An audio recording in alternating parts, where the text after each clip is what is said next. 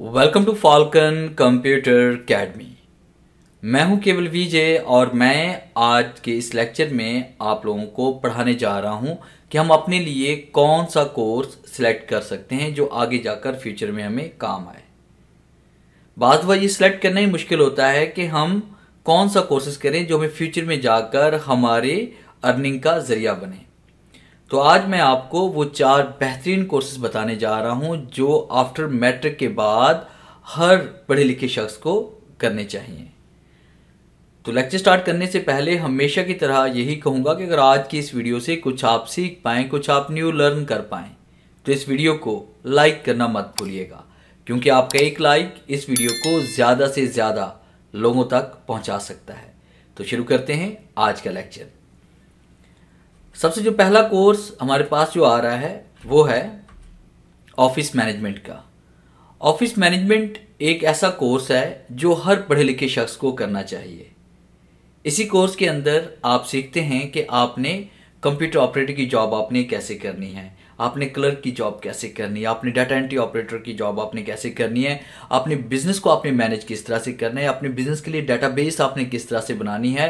Total आपने सारी management आपने इसी के अंदर सीखनी होती है।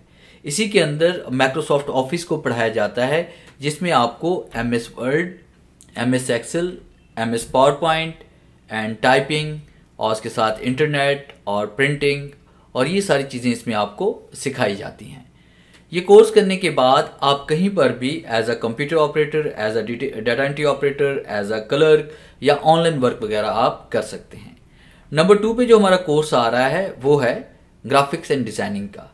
ग्राफिक्स एंड डिज़ाइनिंग का जो कोर्स है, ये ज़्यादातर वो लोग करते हैं जो डिज़ाइनिंग का काम करना चाहते हैं, जो किसी किस्म के फ्लायर्स क्रिएट करना चाहते हैं ब्रशर्स क्रिएट करना चाहते हैं बैनर्स क्रिएट करना चाहते हैं लोगोस क्रिएट करना चाहते हैं।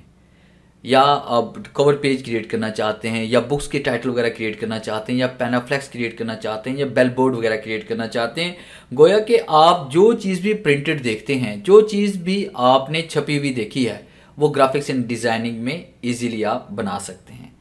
तो इस कोर्स के अंदर जो आपने स्किल सीखनी है, जो आपने एप्लीकेशन सीखनी है, वो है कोरल ड्रा और अडोब फोटोशॉप एलस्ट्रेटर और इन डिज़ाइन इन सॉफ्टवेयर को आप सीख के आप इन पे अगर महारत हासिल कर लेते हैं तो आप ऑनलाइन वर्किंग भी कर सकते हैं।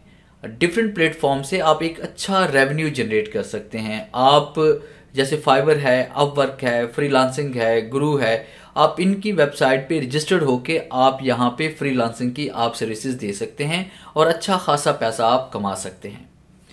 नंबर थ्री पे जो हमारा कोर्स आ रहा है, वो है डिजिटल मार्केटिंग का। जैसा कि आप जानते हैं कि आजकल का दौर जो है वो डिजिटल का दौर है।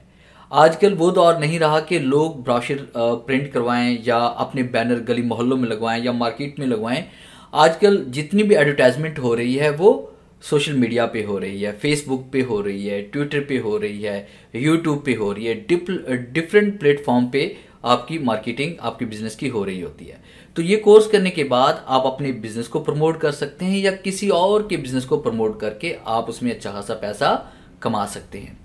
इस कोर्स के अंदर आपने इसमें ई कॉमर्स मैनेजमेंट आपने सीखनी है सर्च इंजन मार्केटिंग आपने सीखनी है, सोशल मीडिया मार्केटिंग आपने सीखनी है, गूगल एड्स मैनेजमेंट आपने सीखना है, फेसबुक सोशल मीडिया मार्केटिंग आपने सीखनी है, ट्विटर आपने सीखना है पेंट्रस्ट आपने सीखना है यूट्यूब एड्स कैसे लगाते हैं यूट्यूब पे ऐड की सेटिंग आपने सीखनी है और वेब कंटेंट राइटिंग आपने सीखना है। तो ये तमाम स्किल हासिल करने के बाद आप एक अपना बिज़नेस खुद के लिए क्रिएट कर सकते हैं और किसी के लिए आप सर्विसेज़ भी दे सकते हैं।